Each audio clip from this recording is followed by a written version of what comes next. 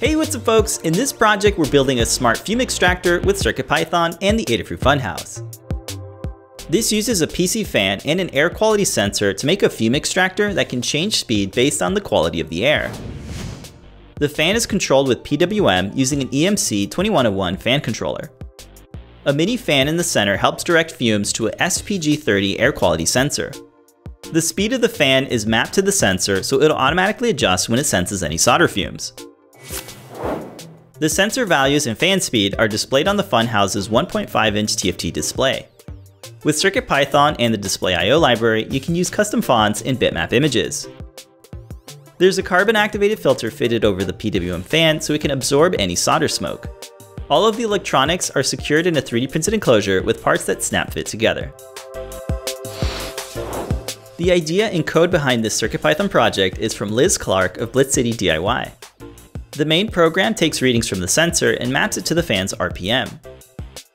On boot up, you can decide to connect to Wi-Fi and log data to a feed using Adafruit I.O. Text objects are updated on the display and values are printed in the serial console. Be sure to check out the code walkthrough by Liz on the Adafruit Learn system. With Adafruit I.O., you can create a visual dashboard of the sensor data and fan speed. Using a line chart, we can plot our sensor data and see it change over time by setting up our feeds. In the code, we can set how frequently to send data to a feed in Adafruit I.O. With your fumes in the cloud, you can use your mobile device to access your dashboard anywhere remotely. The wiring and assembly for this build is documented in our Learn Guide. There you can get the circuit diagram, demo code, and instructions on getting set up with CircuitPython. Our enclosure design in Fusion 360 features 3D models of the electronics with parts from GrabCAD and McMaster-Carr. The challenge in this project led to designing a cover for the mini fan to make better airflow.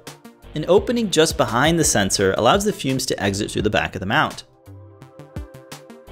The Adafruit Funhouse has lots of built-ins that make these type of projects great for folks who are just getting started.